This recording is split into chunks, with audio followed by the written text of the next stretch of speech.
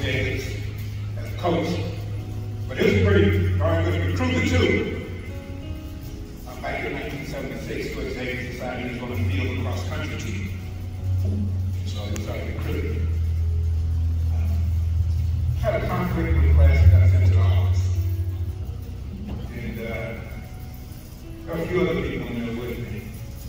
Coach Davis said, well, you can take uh, five swings. Now, for those of you who know Coach Davis, he's from a Cadillac Major League Baseball player swinging bat. so that's wasn't going to happen. So on three days suspension. Because my dad is out talking about you suspended from school was not an option. On the table. It said, or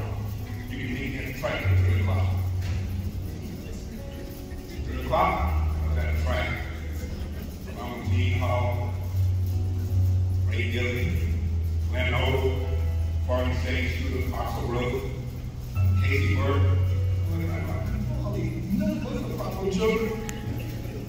And like, we've been hustling. but he had a cross country team. And that was Coach Davis. Um, and uh, there's so many, so many memories. But uh, he had some great sayings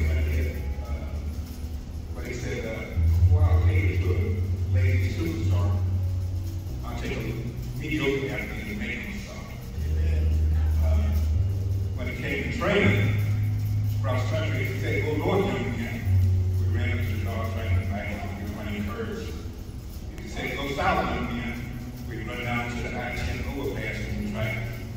And he had a clipboard up top, had it running their bank and the sign, and run back to the track. And along the way, we see him cruise along to make sure we didn't get your ride.